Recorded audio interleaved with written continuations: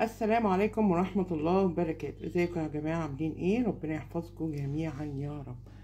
بصوا بقى أنا عملت فراخ بس هي اتهرت بقى لأن سبتها على النار لحد ما تستوي قوي لأن عايزة أكلها وهي مسلوقة يعني تشيل الجلد وأكلها.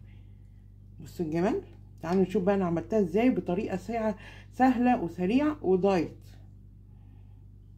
يلا بينا.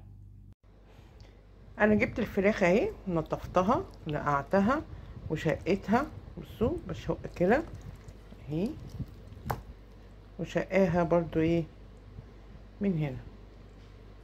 شايفين؟ آه. طريقة سهلة جدا. هنا محضرة ده جنزبيل وملح وفلفل أسود وده مط... آه اللي هو الحباه القرنفل المطحون وده الحبهان ورق اللورا نقولهم تاني اللي أنا محضراهم جنزبيل ملح فلفل أسود قرنفل مطحون وممكن تحطي صحيح لو عايزة. وعندك ورق اللورا وعندك إيه؟ حباية. نسيت خالص أقول لكم في هنا مستكة. أهي مستكة. طريقة سهلة وجميلة جدا وبسيطة. هنا بقى محضرة بقى هنا. ده فلفل رومي زي ما أنتوا شايفين كده. ومعاه ده نص فلفل حامي أحمر وعلى حسب الرغبة برضو في الفلفل عندك طماطم توم بصل. نقولهم تاني. ده فلفل. فلفل ألوان فلفل أنا حاطة فلفل رومي على نص حاطة اتنين فلفل رومي وعندي نص فلفل أحمر حامي. فأنا بحط الحامي قليل عشان المعدة وكده عشان الأطفال برضو. وطماطم وتوم وبصل. حلو الكلام. هاخد بقى الحاجات دي كده اهي وانزلها عليه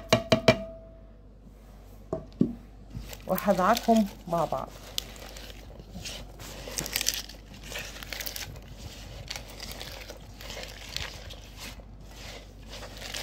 يعني ما تعمليها هتعجبك قوي والطريقة حلوة وسهلة. وسعراتها برضو قليلة.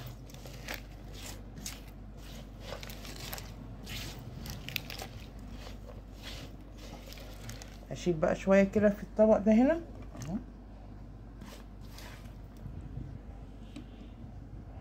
بصوا.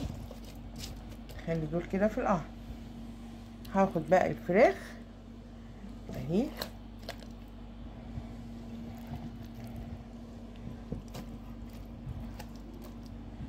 كده رصيتها على بعض.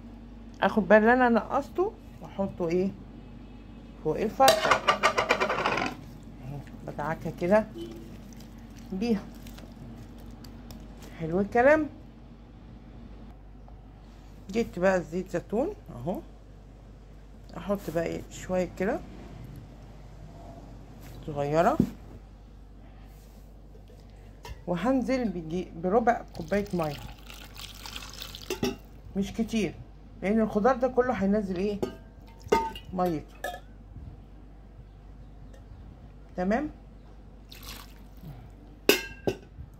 هعلق عليها على النار وأخلي النار متوسطة ولا عالية قوي ولا واطية قوي. وأغطيها.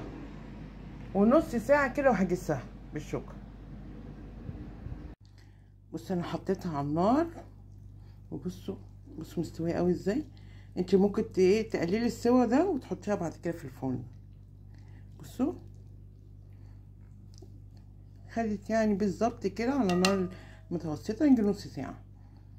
لو انت بقى عايزة تحطيها في الفرن تدي لون احمرار جميل كده وممكن تحطي حبة صلصة كده تدهنيها وتحطيها في الفرن. هتدي لون جميل جدا. أقول لك السلام عليكم ورحمة الله وبركاته.